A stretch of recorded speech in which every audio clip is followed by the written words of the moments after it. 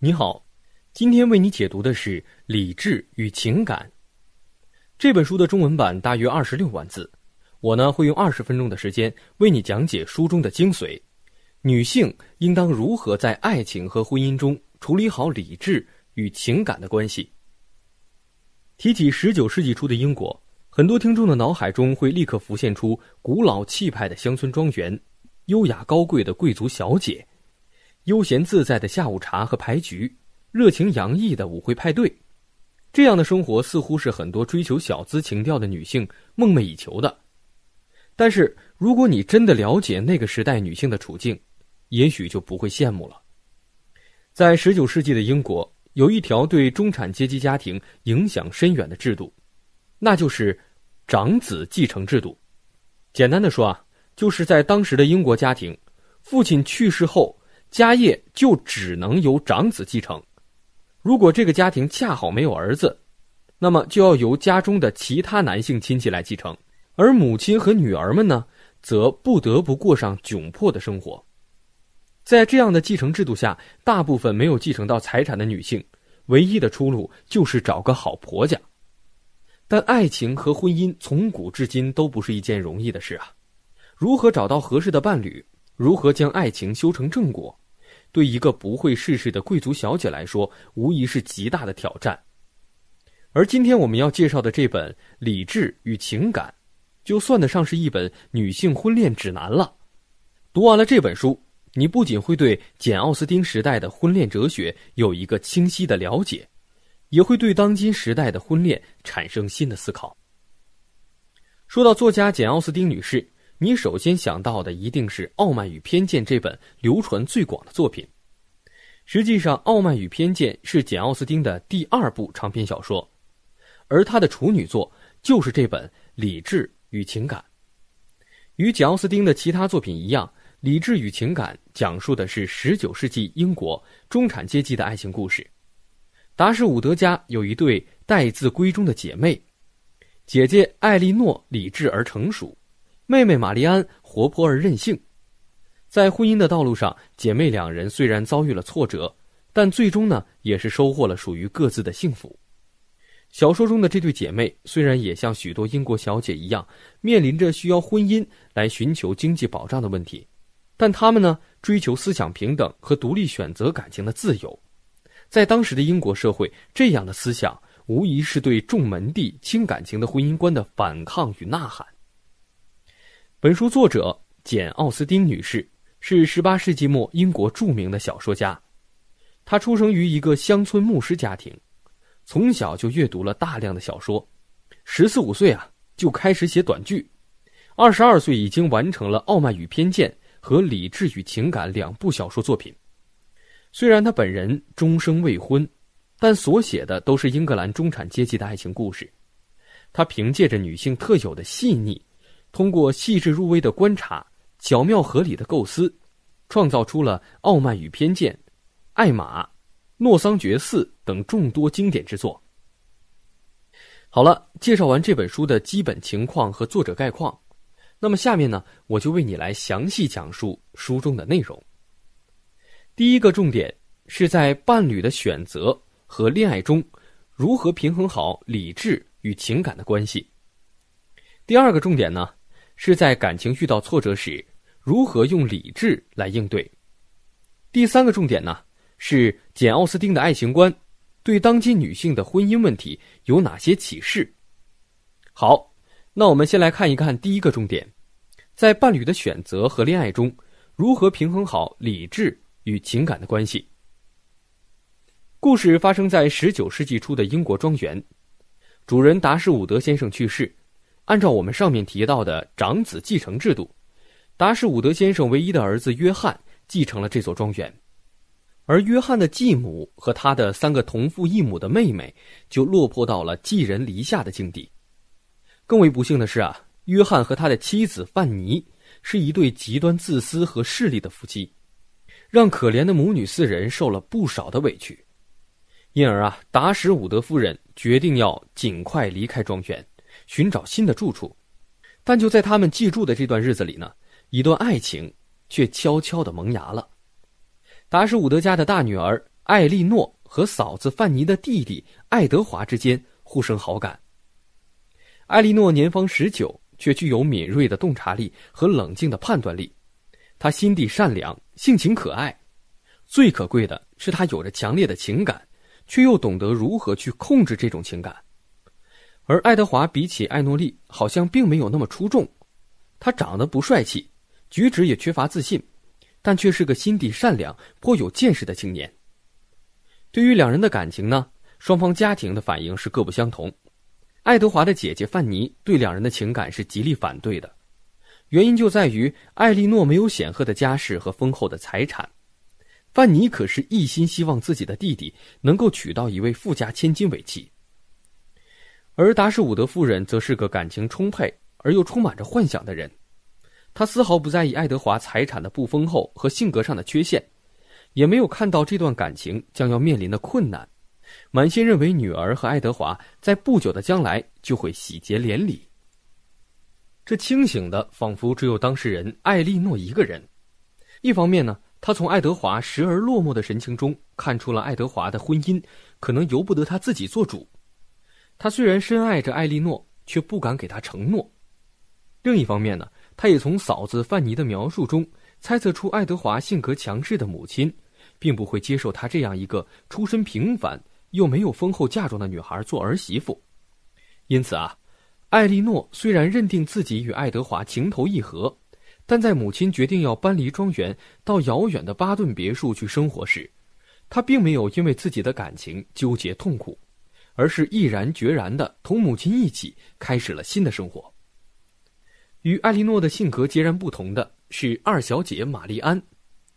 玛丽安聪明敏感，讨人喜欢，但唯一的缺点就是对人和事有些偏激，悲伤和喜悦都不能加以节制，典型的情感有余，但理智不足。在全家乔迁至巴顿庄园后，玛丽安同时遇到了两个追求者。一位呢是年过三十五的老单身汉布兰登上校，他的性格比较内敛，但却是位十足的绅士；而另一位则是英俊非凡、举止优雅的年轻人威洛比。毫无疑问呐，以玛丽安的性格，自然是看中了年轻的威洛比了。与姐姐对情感冷静克制的态度不同，玛丽安讨厌对任何事情遮遮掩掩，在她看来啊，压制感情是徒劳的。是对世俗观念的屈服，因此呢，他毫不避讳的与威洛比当众亲密接触，完全的陷入了爱情的甜蜜之中。而当威洛比突然宣布自己要暂时离开的时候，玛丽安感情失控，长久的沉浸在悲伤和对过往的回忆之中。听完了艾莉诺和玛丽安姐妹的相识相恋过程，不知道你有没有看出作者简·奥斯汀女士对恋爱中的理智与情感的认知？很多听众可能会说，玛丽安个性率真，敢爱敢恨，有什么不好的呢？女孩子谈恋爱干嘛要瞻前顾后呢？但实际上，不论是在当时的社会情况下，还是如今的时代，一段单纯靠感情任性而为的情感是很难走到最后的。与姐姐艾莉诺相比，玛丽安对待感情最大的问题就是缺乏理智，在伴侣的选择上，艾莉诺更看重的是爱德华的德行。而宽宥了他的不足，而玛丽安则是个典型的完美主义者。他认为，好的伴侣既要具备爱德华的全部品格，外貌举止呢，还必须有种种的魅力。虽然嘴上是这么说，可他还是一眼被威洛比的外貌和举止所吸引，而完全无视了他从细枝末节中早已体现出的品格的缺陷。用我们现在的话说，玛丽安是个十足的外貌协会。在恋爱当中呢，艾莉诺希望自己与爱德华的感情呢能够修成正果，因而啊，她没有单纯的沉浸在爱的幻想里，而是冷静客观的分析了感情中的阻碍，对自己和爱德华未来有着理智而清醒的认知。反观玛丽安，她和母亲达什伍德夫人一样，总是用幻想来代替现实，在相处中呢，他丝毫没有怀疑过为什么他们的感情如此的公开。威洛比却并没有明确的向他表达爱意，也没有考虑过以威洛比入不敷出的经济状况，他们的爱情能否顺利的走向婚姻。而这一切不理智的行为，其实都是作者为玛丽安接下来的爱情挫折埋下的伏笔。下面我们总结一下，在伴侣的选择和恋爱当中，如何平衡好理智与情感的关系。达什伍德家的两姐妹艾莉诺和玛丽安先后遇到了自己的心爱之人，但是两人在感情问题处理上却截然不同。艾莉诺对待感情理智而清醒，她在伴侣选择上重视德行。而不是被外貌和举止所迷惑，在恋爱当中呢，她冷静地看到了感情中面临的困难和问题，而不是一头扎进感情的漩涡中。妹妹玛丽安呢，在感情中完全失去了理智，为接下来的恋爱悲剧埋下了伏笔。好了，上面为你讲述的就是第一个重点，在伴侣的选择和恋爱中，如何平衡好理智与情感的关系。说完这个，我们接下来就说说第二个重点。在感情遇到挫折时，如何用理智来应对？艾莉诺和玛丽安姐妹的感情甜蜜期已经过去了。按照惯常的逻辑，作者需要为他们的感情制造点麻烦了。首先经受考验的是姐姐艾莉诺，她从一位新认识的露西小姐口中得知，爱德华与露西早已在几年前就已经订婚了。面对这样的打击，艾莉诺并没有立刻向母亲和妹妹哭诉爱德华的欺骗，也没有武断地认为露西就是在编故事，而是通过分析，肯定了爱德华对自己的感情。但由于正直的品格，他不得不对自己年轻时的错爱负责。因此呢，艾莉诺并没有对爱德华充满怨恨，而是真心的帮助他获得经济独立，并与露西在一起。但是最终呢，由于露西的自私与贪婪，落魄的爱德华被抛弃了。艾莉诺和爱德华有情人终成眷属。妹妹玛丽安就没有姐姐这样幸运了。跟随亲戚到了伦敦之后，她急切的写信求见威洛比。但此时已经跟富家小姐订婚的威洛比毅然决然的抛弃了玛丽安。同时呢，布兰德上校也揭穿了威洛比欺骗少女感情。始乱终弃的无耻行为，威洛比的人设可谓是彻底坍塌了。面对这样的打击，玛丽安丝毫无法掩饰自己悲伤的情绪，大病一场，差点就丢了性命。庆幸的是，在姐姐艾莉诺和布兰德上校的陪伴下，玛丽安逐渐成长成熟，也接受了布兰德上校的求婚，重新收获了幸福。挫折往往是一段感情最好的考验。简·奥斯汀告诉我们，在感情面对挫折时，理智的头脑是必不可少的。如果说在相识相恋阶段，艾莉诺遇到好男人有运气成分在里面的话，那么在感情出现挫折的阶段，她完全依靠理智与善良赢得了幸福。艾莉诺与爱德华的感情看起来既不热烈也不引人注意，但是艾莉诺却对自己的爱人和感情有着清醒的了解和把握。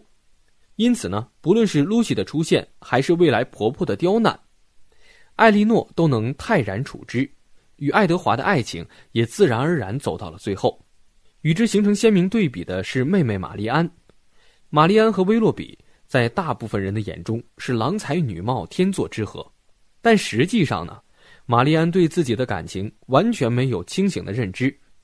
她不了解自己的爱人。没有认真的思考过如何将炙热的情感转化成稳定的婚姻。当威洛比的态度发生改变时，玛丽安完全乱了阵脚，不断的找各种借口替威洛比开脱。其实内心呐，早已经是慌乱不安了。所以说，在面对挫折的时候，一段感情是否成熟理智，成为了能否走下去的关键。下面呢，我们来总结一下，在感情遇到挫折时。如何用理智来应对？当达什伍德姐妹的情感走过了蜜月期，挑战就接踵而来了。艾莉诺面对感情的挫折，凭着自己的理智的头脑和对爱人爱德华的了解，掌握了感情的主动权。而妹妹玛丽安的感情虽然说是轰轰烈烈，但却抵挡不了名利的诱惑。她对自己的感情毫无清醒的认知，导致了与威洛比的分道扬镳。好了，上面为你讲述的就是第二个重点，在感情遇到挫折时，如何用理智来应对。说完这个呢，咱们接下来说说第三个重点：简·奥斯汀的爱情观对当今的女性的婚姻问题有哪些启示？近几年特别流行一个词儿，叫“渣男”，